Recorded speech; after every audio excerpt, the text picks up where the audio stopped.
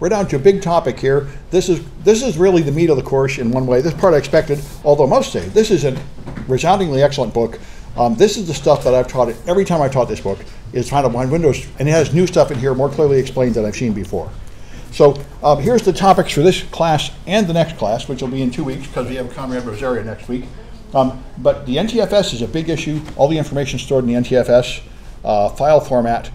Uh, prefetch is a small issue, and event logs are a small issue, and scheduled tasks are a pretty small issue, but they're worth knowing.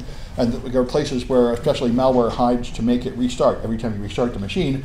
And next time I'll do the registry and these other things after there, because there's enough. Half of this is enough for one night.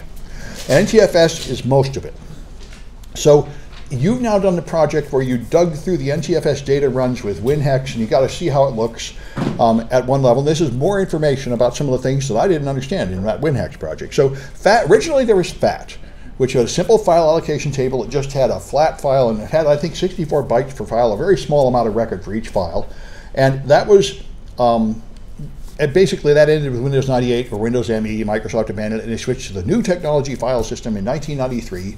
And there have been very minor changes in it, but they're still using it. It's the basic file system for almost all Windows servers, except for fault-tolerant servers that are now using uh, ReFS supposedly, although I don't know how many people are actually using it.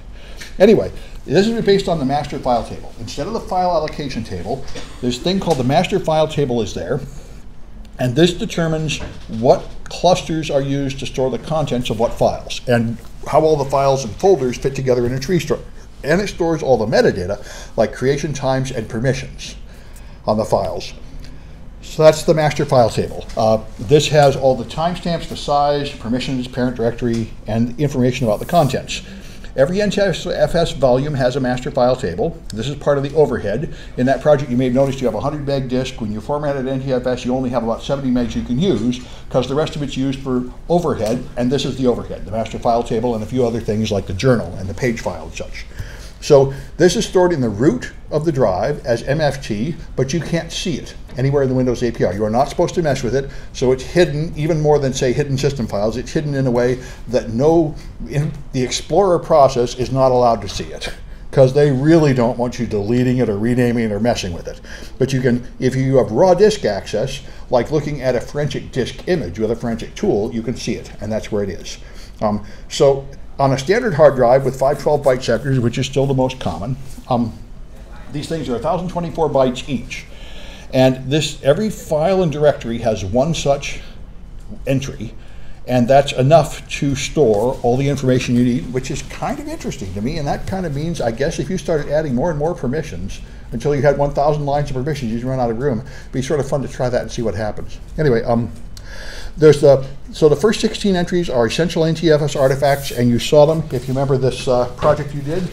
You see these things here, here's the MFT, and here's log file and booted, bitmap, and bad cluster, and so on. These are things that start with dollars, are all these magic hidden files that are used to keep track of how the disk is being used. All right. Um, so you have a record type file or directory, just like you would have in Linux. Everything starts with a D or a dash. You'd have a record number, which is like the inode number in Linux. All right. And uh, then it restores the parent record number here, which is kind of a problem. This is, it is, you can see it in Windows Explorer, you have dot and dot dot in every folder, which is you know where the folder is and you know what the parent folder is.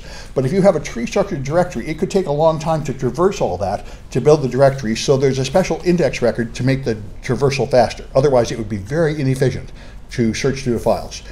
Then there's active inactive flag. This is the only thing that changes when you delete a file. It marks the record inactive, does not erase anything right away, which surprised me because I'd heard that you could never recover metadata for a deleted file. In practice, you usually can't because it's overwritten very rapidly. But in principle, there could be a file that's been deleted. If someone deleted a file and then immediately shut down the machine, there would be something left here. Uh, there would be metadata for some of the deleted files, but not very many. Anyway, um, so here's how it looks a, uh, a record. You've got a record header, then you've got standard information, file name, and then data runs here. Information about the data. And so like if you delete a file, all it does is mark the master file table inactive and it doesn't erase it. But as soon as any new file is created, it will try to reuse existing MFT records as much as possible before creating new ones. So in practice, if it's on the system drive, the background processes Windows are constantly creating files and erasing files. So within a few seconds or minutes, you'll lose the metadata when you delete a file. Uh, you won't lose the contents of the file. Those are out in the clusters. You might not lose them for months because you actually that'll only depend if you're actually saving enough new data to actually fill up a part of the disk. But the metadata is relatively volatile. Um, this is something, uh, there are, they call this the MACE timestamps. There are four different timestamps on every file, only three of which you can see from inside Windows. Uh, modified, accessed, created, and entry modified, which is a little confusing. Um, and not only that, there's two sets of them. So there are eight timestamps on every file because the standard information has the four timestamps and the file name has the four timestamps. Now, under normal conditions, they will both be the same, but if someone has been attempting to alter the timestamps, they might not be the same. And that's why a forensic investigator is probably the only person who would actually want to look at all these different times. Because um, if the criminal is sloppy about deleting files, they leave evidence in the file behind, and if they're sloppy about forging times, they leave evidence behind It shows this time has been messed with. So um, here's the standard information timestamps. That's what you see if you do the properties of a file or folder in Windows. You see three timestamps on here, created, and I know someplace there's more. I'm not seeing them all in this thing, but there's a created, there's modified, and accessed. Those are the three you can normally see. The entry modified thing is not here. That's when the metadata was modified, the MFT itself. And forensic tools will show all four timestamps. However, and here they are again, the entry modified is when the MFT itself was changed and these others are pretty obvious. Um, created is when the file was first created, accessed is when it was last read, and modified is when it was last changed. However, um, accessed doesn't work anymore. Microsoft, ever since Windows XP, Microsoft decided it's a waste of time to keep track of when something was accessed as opposed to when it was modified, so they don't bother to update it. Uh, it might never update at all, or it might update it with a delay of up to an hour because they've just decided it's a waste of time to bother keeping track of that timestamp. So that data is less reliable than it used to be. Anyway, um, so here's the M NTFS um, file name timestamps. And there's even more than you might think here. See, the file name is actually mess in Windows. Originally in DOS, you could only have eight letters, then a dot, and three more letters. That was it. And then they invented long file names in like Windows 95, but they didn't actually implement a file system that handled long file names. It really uses an 8.3 file name, and it uses a bunch of them adding up to make this long name.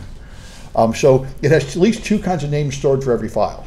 And actually, many command line commands, at least in the Windows command line interpreter, default to the MS 8.3. So there are some hilarious conditions under which you do bulk operations with like a couple letters star, and you end up changing totally the wrong files because it actually runs by the 8.3 name instead of by the long name. Um, there are a lot of little, there are a lot of uh, appendices in Windows that are left over from the ancient times of MS-DOS. But anyway, uh, the time stomping is the process of trying to hide your tracks by changing times. And there are various stomping tools out there that hackers use to try to hold them. And so these will try to change the timestamps. Now, if these tools run from inside Windows, then the only one they can change are the first three. They can't see the last one. You can't read it and you can't write it from a Windows application through an API call. So um, there are tools like SetMace that use tricks to get around that. I think by starting services to come around. Um, and so SetMace you can download here, and it does a more thorough job of stomping timestamps. Um, another thing that uh, malware does frequently, if you install malware, what it will, you know, your all, if you're Windows 2008, all your files were created in like 2007. Then you install new files, and they're created in 2015, so they stand right out. So what malware will do is it will copy the timestamp from a system file, so it appears to be the same time as all your system files uh, years ago to try to hide. And that, and, but if it doesn't do it right, it won't get all the timestamps, and you'll see inconsistencies like this. And this is a real example from a, from the textbook. Um, this thing claims to have been created in 2006, but the file name was created in 2009 because they stomped this, but the stomping tool didn't manage to stomp the second bunch of timestamps. So that's why it's really important. I know one of the cases that my favorite teacher, Steve Hailey, did. Um, there was a Japanese teacher in high school who was accused of being a pedophile because they said he was downloading porn on one of the classroom machines and it appeared to have child porn on it. And so they accused him of this. He was kicked out of his church, fired, blacklisted as a sex criminal, all before even going to court. And then um, it was one of his students that investigated it and found the evidence that led to this. And then he, Steve reviewed the evidence and found that the clock had been altered, and his students had failed to notice that. And in fact, he was not even in the country when the offense occurred, and he figured out who it was. It was a different teacher, and then went to the supervisor of the school who said, oh, he's gone too far, we'll just continue prosecuting the wrong guy. So he managed to go over their head and get this reversed. But there's that guy can never teach again. I mean, once you have this thread, if your thread of sexism and racism touches you, then you're tainted forever, whether it's true or not. Um, anyway, and so it is very common that criminals change timestamps and they change the clock. And if you don't watch for it, you can easily end up misinterpreting your evidence and convicting the wrong person. Uh, there is a very thorough document here, the SANS poster that has many listed Windows artifacts. It goes on and on. It's really quite cool and it's nice cheat sheet. So it's a fun thing to see. It has many, right, it even has a cool section on how to find unknown malware. So it's very nice. A thing worth, I'm not expecting you to memorize all this stuff, but it's a good reference work when you're doing things. Um, all right, I got a few iClicker questions. Come get one if you need one. If you can't find any in the, there's uh, more layers below. And I've got a driver's license. Aha. Chow Zhu? That's you. Uh, just use a piece of paper. Don't use the driver's license. It's uh, some student may take it. Let me just pass it back to you. Students do take each other's cards out of there, and uh, I don't have any way to prevent that. Don't put anything in there that's valuable. All right. Anyway, so, uh, find the iClicker thing. There it is, okay. Like a course. Oh, there's a layer one problem.